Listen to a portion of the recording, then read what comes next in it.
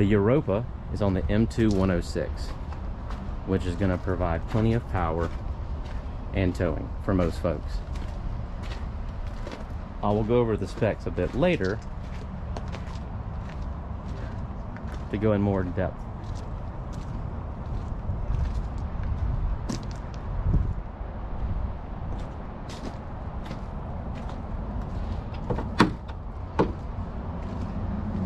So starting here, going around the exterior, you'll see that you have dual fuel field, which is going to allow you to fill the motorhome up from either side.